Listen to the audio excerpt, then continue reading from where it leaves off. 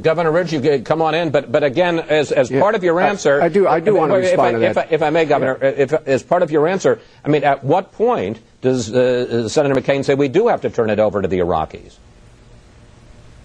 Well, I think, again, that depends on the situation on the ground. As the New York Times is reporting, there's greater and greater stability. The administration is taking greater and greater control of not only its uh, diplomatic efforts overseas, its domestic efforts, but also its military and law enforcement. The Maliki government was criticized a couple of months ago for uh, taking a very aggressive uh, posture going after some of these terrorists and some of these communities. That's exactly what we want them to do. And make no mistake about it, this is a fundamental venue in the, in the war against terror. Can you imagine turning this region over? You'd have terrorists supported by Iran, and you'd have one of the most abundant supplies of oil under their feet.